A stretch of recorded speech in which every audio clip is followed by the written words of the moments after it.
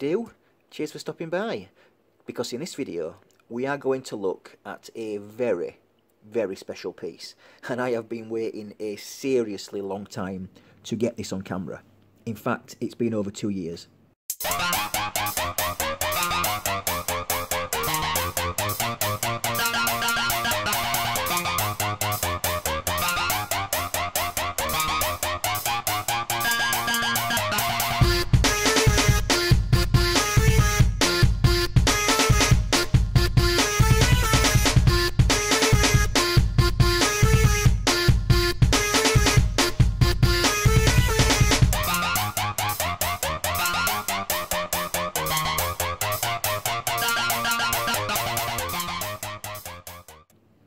I've thought long and hard about how I'm going to tell this story, and you know, it's a difficult one because what I have had to do to this knife is take a custom knife and basically do an unofficial collaboration with some other makers to get it to where I want it to be.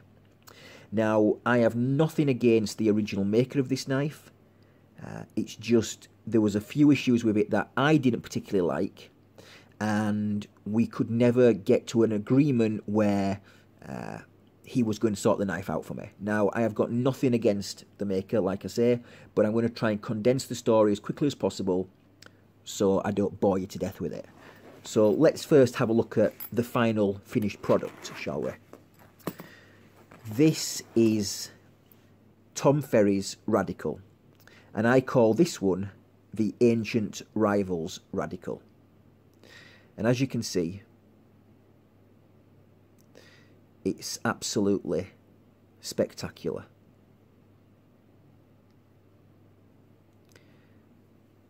This thing is the crown jewel in my collection.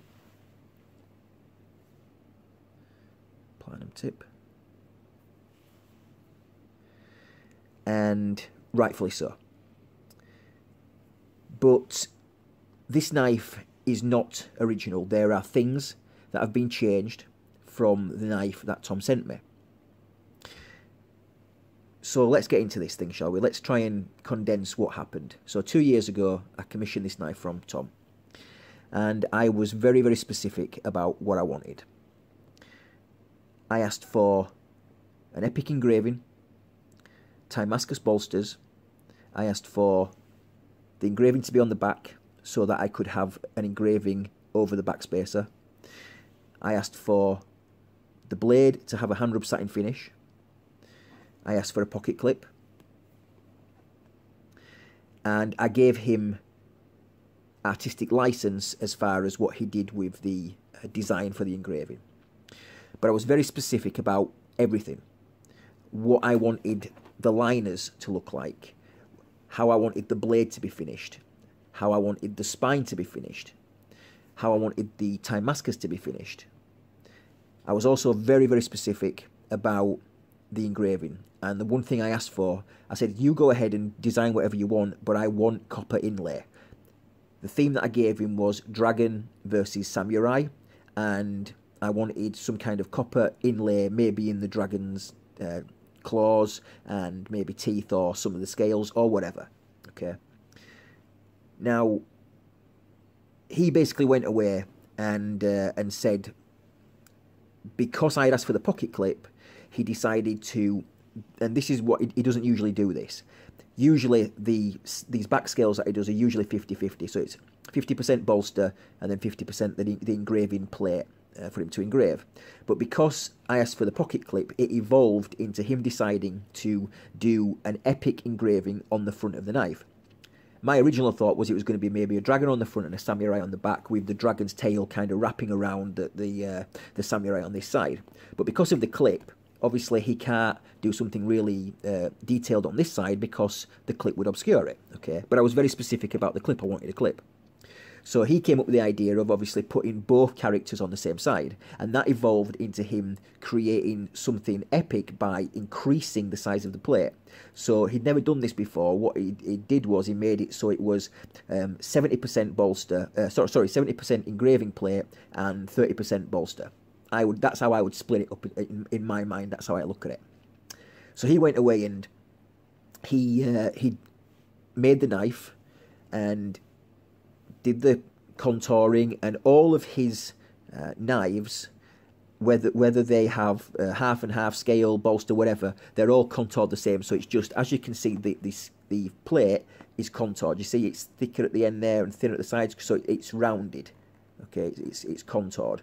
And the uh, scale at the front the bolster at the front sorry um, was also sorry hit the camera there was also um, rounded and perfectly finished. Okay as you can probably guess these are the original bolsters so he started making the knife and he started putting some pictures online. And I immediately noticed that he'd already kind of skipped the phase where he does the copper inlay. So I contacted him and said, Where's my copper inlay? And he said, I'm not giving you copper inlay. Now I was very upset about that because I was specific about it. I'm the customer, it's what I asked for. And he said, The reason I don't want to do copper is because the Timascus is going to be so vibrant that it might look a bit gaudy and a little bit tacky, having vibrant Timascus and then kind of copper. And he says, I can give you a more detailed engraving without doing inlays. So I was upset by it, but he'd already started the engraving process, so I had to go with it. Okay, so fair enough. He goes ahead and does the engraving, and yes, I think you would agree that he came up with something absolutely spectacular. Right, just absolutely amazing, amazing work. But when he posted pictures of the finished product, the uh, Timascus was horrible. He'd basically taken the heat so high that it had gone through all the vibrant colours and it had gone to these kind of whites and washed out blues and uh, almost going to like yellowy colours, and I hated it. And I told him, and he'd already spent too long on the knife. For the price he'd quoted me, he'd taken way too long doing the engraving. He'd gone over. So his original price, now he's probably losing money. So he ended up polishing the Timascus again and redoing it a kind of purple uh, golden bronze colour, and I hated it again. And I also could see scratches uh, from the, the sanding in the bolsters, and I hated that as well. But I kind of could tell that he wanted to just get the knife out the door. He was obviously, you know, he'd, he'd gone over on his time with it, so he sent it to me. And when I received it, uh, I immediately opened the knife up, and I'd asked for a hand rub satin blade. And instead, what it was, he it was a hand rub satin, but he'd also stonewashed it. And what it had looked like, it looked like he'd started the hand rub satin and then run out of time and then thrown it in the tumbler. And now I've never seen that before. I've never seen somebody do a hand rub satin and then throw it in the tumbler because they're both scratches. You've got either a hand rub satin, which is, you know, directional scratches, or a tumbler, which is a, a tumbled finish, which is obviously, you know, crazy all over the place scratches. And I hated it, absolutely hated it. Also, there were like these little uh, scratches, uh, vertical scratches near the ricasso, um, loads of them, where he basically, it looked like he'd been doing that, and every time he'd gone back like that, do, do, do, do, do, had built up all these kind of vertical lines. So it looked terrible, absolutely horrible. Um, and didn't like the uh, the bolsters. Didn't like the way he'd finished the clip. Uh, the sides of the clip were not nicely finished. There was like blemishes and all kinds of stuff. And like I say, it was a beautiful knife. It's just um, a little bit of fit and finish had, um, you know, kind of been rushed. That's my opinion on it. And he admitted that. You know, he said that yes, he, he would probably rushed the knife uh, to get it out the door because he'd gone over on the engraving. Totally cool. Now, in the end, what ended up happening was I was very reluctant to send the knife back. Trying to send it from England to America and then having him sending it back to me is a big deal. It's a big risk. So in the end, I decided to, uh, you know, do things myself, and um, I could never get the bolsters finished how I liked. I, I just, I think it was I didn't like the Timascus. Uh, it was the pattern on one side was very dense, the other side was very open. They didn't match, um, and they never anodized right. They never kind of coloured the way I wanted them to colour.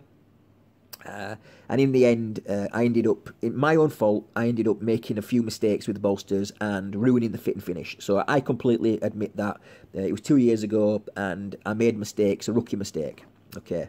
Um, and he told me that to send him the blade back. But in the end, uh, all he did was he just offered a full refund.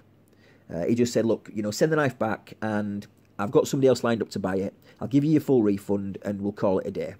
And I was very, very close to doing it because I was unhappy with the knife. You know, I was kind of, you know, I was bitter about not having my copper inlays, and I wasn't even appreciating the, the engraving at the time because I was so kind of bitter about the fact that I didn't get this copper inlay. Uh, and then, you know, I, I, have a blade that's horribly finished. I just don't like the finish of it. And then I've got bolsters and a clip that I can't get right. And uh, yeah, it was just, it was very frustrating. And I was about to send it back when something inside me said, You will regret it. This knife was commissioned for you. You commissioned it. It's in, it's in existence because you commissioned it. You were the one who came up with the theme. You were the one who pushed Tom in a certain direction for him to do this. And it's your knife. And I knew that if I sent it back, and then he went and kind of resorted the blade out and did every got the knife looking amazing uh, and then somebody else had it in their collection and started posting it on instagram or did youtube videos for it i knew i would regret it for the end of my days you know what i mean and I knew that I would never get an opportunity to own a knife like this again. I always wanted a knife like this with some kind of an amazing dragon engraving. And so I decided, even though I thought that maybe I might just hate the knife forever, because I'm, you know, not hate, but be unhappy with it, I decided that I was going to keep it. And I was going to try my best to sort it out myself. Now, like I say, I've got no issue with Tom whatsoever, even though after our dealings he blocked me uh, on Instagram. Like I say, I have no problem with him whatsoever. You know, we had a bit of a disagreement, but that's as far as I'm going to go. I'm not going to go into any more detail about the other things that were going on with the knife or other things I worked on. Um, there's no need. You know, I'm not bashing him in the slightest. He created an amazing, amazing knife. Okay, but it had some issues that I needed to sort out. So what I did was I first um, had the blade that I needed sorting out, and I had a relationship with a maker here in England where he'd already done a couple of different uh, blades for me, where he'd refinished a couple of blades. One in particular was my Gavin Hawk Tangent. He hand rubbed it for me.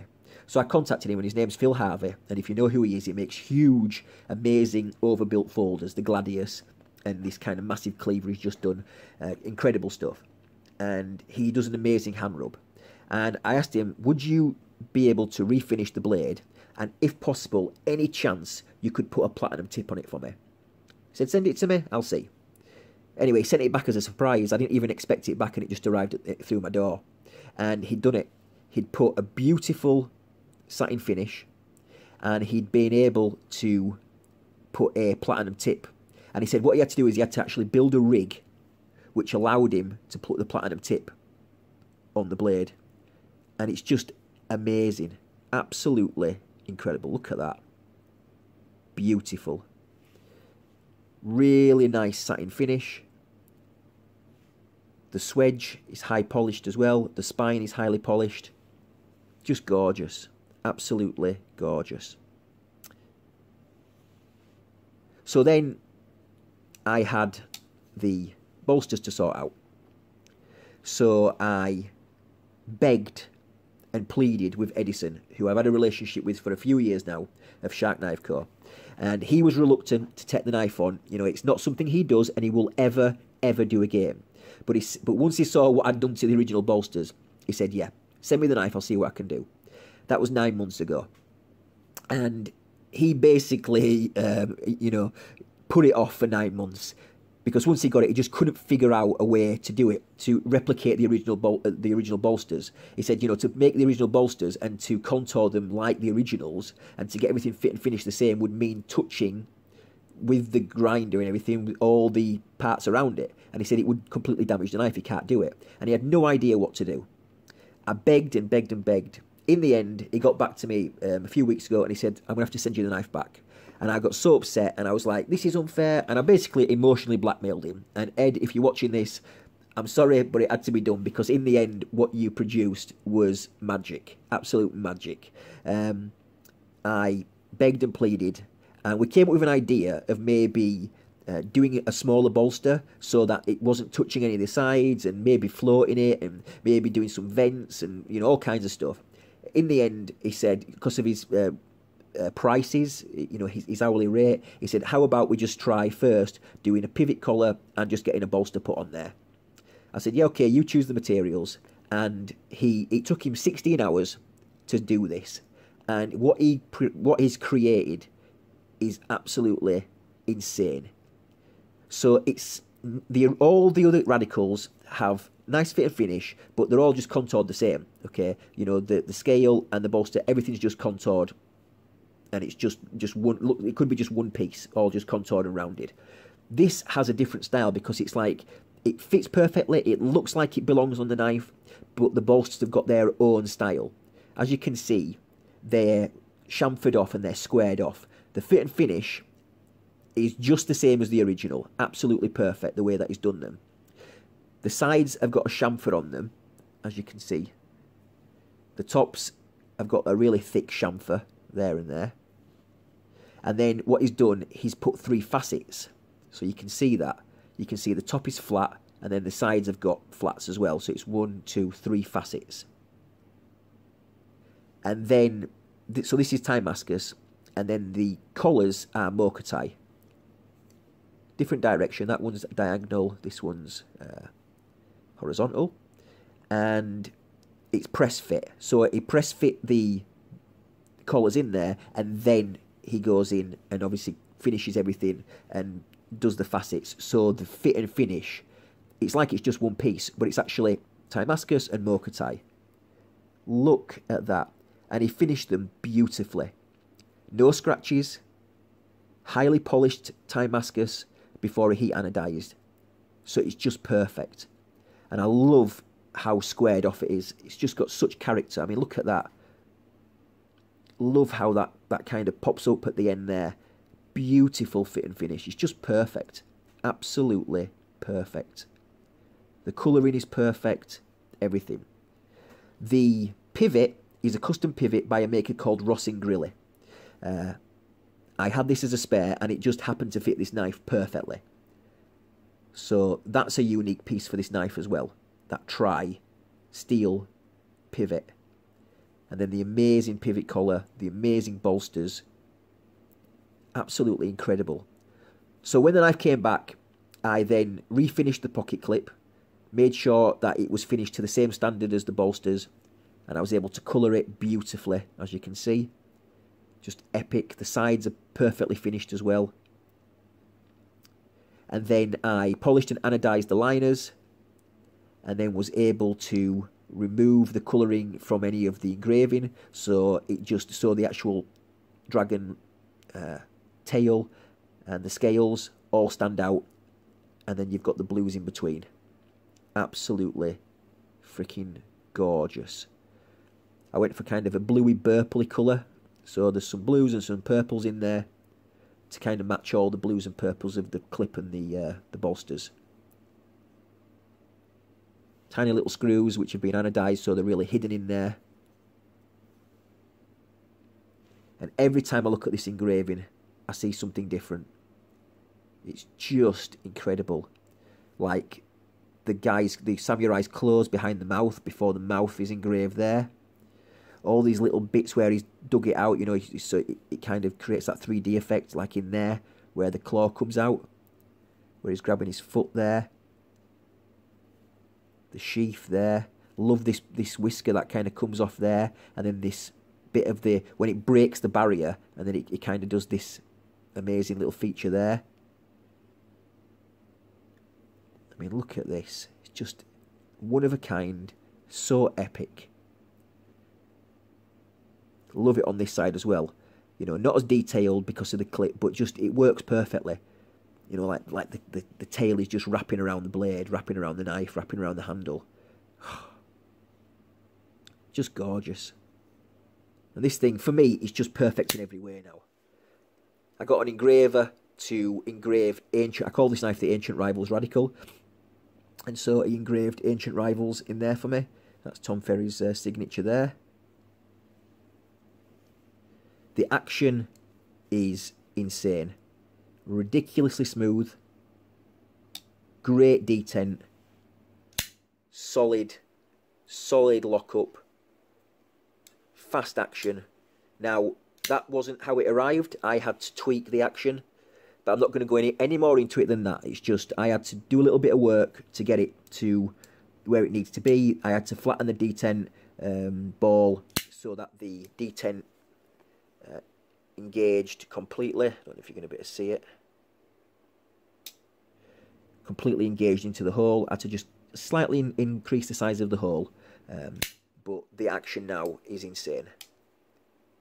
So yes, I would say in total, uh, including Tom, uh, Edison, myself, Phil, uh, the engraver who who did the inside of there and just did a little bit of topping up on some of the shading um, that I'd kind of wore away after doing a bit of polishing. Um, I would say six different craftsmen have influenced this knife. I mean, yes, okay, it's just the pivot for one craftsman and a little bit of engraving for another craftsman, but the main people are Phil Harvey for the blade, Edison Barajas for the bolsters, and obviously Tom Ferry for the knife overall. And this thing is just insane. What a gorgeous piece.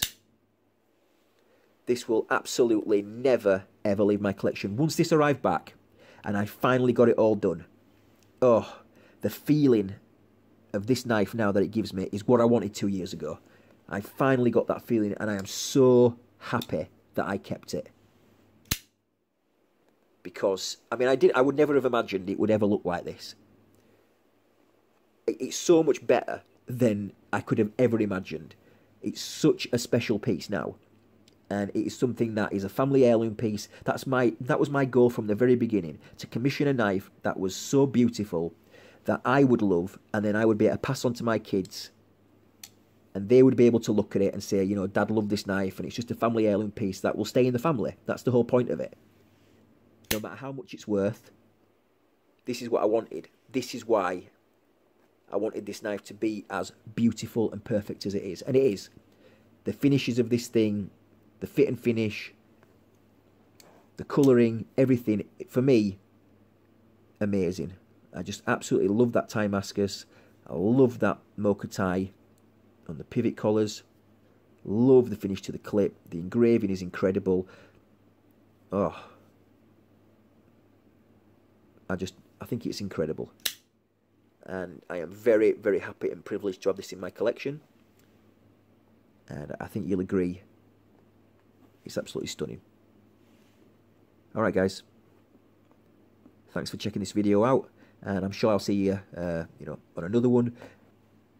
I'm due to go in for spinal surgery in exactly two weeks' time, so maybe I might get a couple more videos in there. If not, hopefully I will see you um, when I see you after the surgery. Alright guys, thanks for watching, and I'll uh, I'll check you later. See ya.